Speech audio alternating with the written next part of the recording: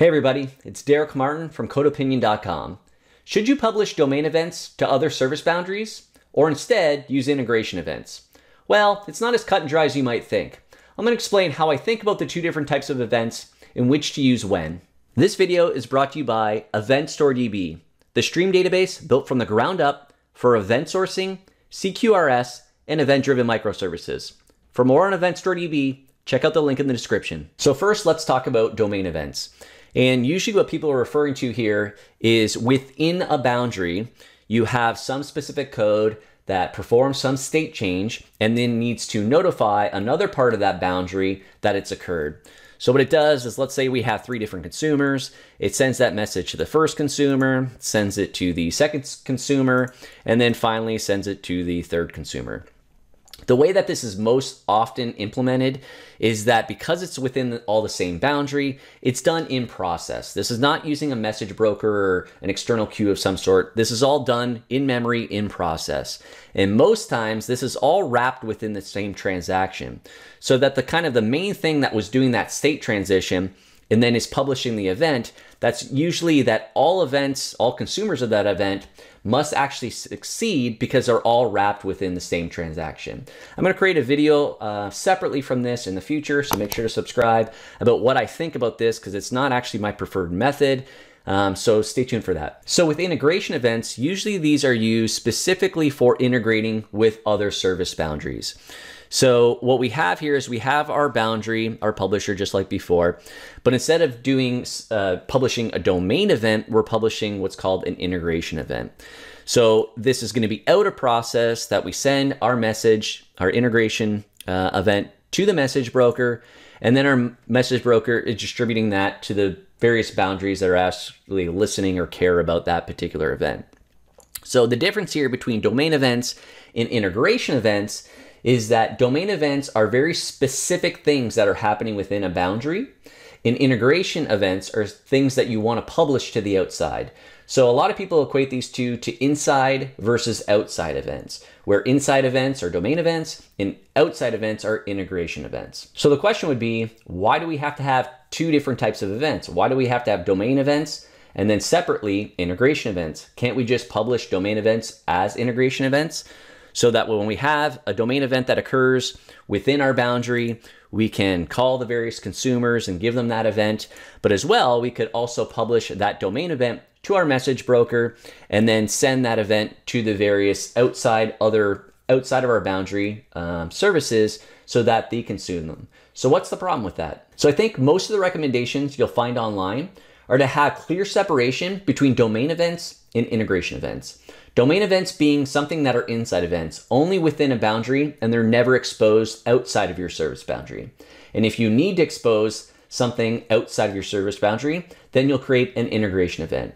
However, I do not think it's that cut and dry, and I don't think it's either or. I think you can determine this based on each use case of the event that you want to publish. So here's how I think about it. So I can boil this down to three different things stability, understanding, and consumer requirements. So what do I mean by that? Well, first let's talk about stability. So if events are stable, consider exposing them to outside your boundary. And what I mean by this is specifically is that your events are revolving around business concepts. If those are stable business concepts, you're really likely not likely to be changing them.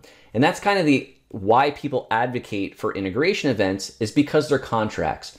You can version them separately and differently than your internal domain events. If things are in flux as you're developing things, in you have other outside boundaries consuming events, you don't want to have to deal with, oh, worrying about, okay, if I change this, now we need a version, all this stuff. You'll just be able to change your domain events. But again, if domain events are stable business concepts, they're very, to me, they're not likely to change, especially if you have a foundation of what those business concepts are and you've kind of really solidified that, I do think under this circumstance that not only is it um, practical, it's actually beneficial to publish these types of events. Specifically, if you have long running processes or workflows that really matter about having kind of behavioral events. These aren't CRUD events. These aren't things that you're using for data propagation. These are things for workflows, for edit, letting other service boundaries know very specific business concepts of things that have happened. So if you have stable business concepts, business events, there's stability there, then yes, you can publish domain events outside your service boundary. So the second one was related to understanding. And a service boundary is to me kind of a linguistic boundary as well about a, a certain understanding. So Mel Conway posted this uh, back in 2020, uh, almost a year ago from me recording this, I guess. And his comment was, his tweet was, a linguistic comment is when a politician greets you with, How are you? and a nurse greets you with, How are you? They are totally different questions, even though they sound the same and are spelled the same. So the thing here is, again, a service boundary has an ubiquitous language. You're defining these things. If you publish a domain event that is very specific in how it's worded and the event type, it may not mean anything meaningful to another service boundary. So do you want to publish that domain event that is very specific and uh, has some linguistics to it that means something to your service boundary, but may mean something completely separately to another service boundary? So this would be the reason why you may consider not publishing domain events is because if there's something very specific to maybe that part of the subdomain that doesn't really make sense anywhere else and they really can be internal just specific inside domain events. So again think about the context and how other boundaries um, would view or perceive this type of event. So the last one is related to consumer requirements now, this does seem odd because you would think, okay, well, I'm publishing events. The whole point of this decoupling is that I publish events and I don't know who's consuming it. I don't know what other service boundaries actually even care about the events that I'm publishing. And while that's true, I do think practically it's not exactly that cut and dry as well, is because there's different types of events that I've covered before that have different use cases. So if you're talking about a long running process where you have some type of event choreography, and check out my video on uh, event choreography and orchestration, where you have a long running process where one event is published, some other uh, service boundary is consuming that event, and it's a part of the process. It does the work that it needs to do once it's consumed an event. It publishes another event, and maybe some other service boundary picks that up. And it's basically completing this long running process. So there's a difference between using events for notifications, like this, uh, a part of the long running process, or using uh, events specifically for propagating data, where you have more kind of CRUD oriented things. So, are you doing kind of CRUD property based where you have um, really CRUD driven UI, or do you have more of a task based UI where you're publishing more behavioral events that are used for notifications?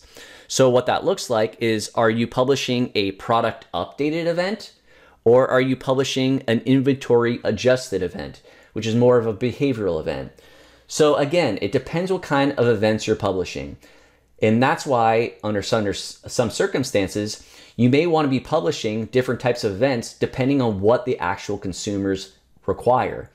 So while I do get the whole decoupling of I'm publishing events and I don't really care who's consuming them, I don't think is that practical because most times you do care about, as a consumer, getting specific data.